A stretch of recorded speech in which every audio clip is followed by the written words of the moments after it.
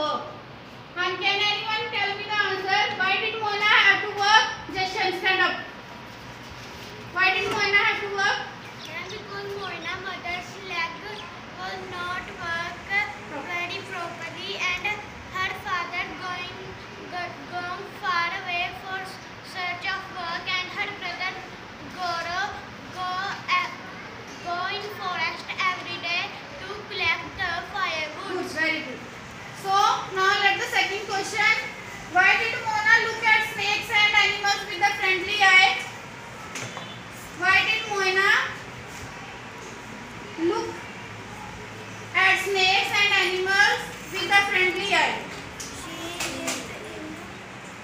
she lived in a where she lived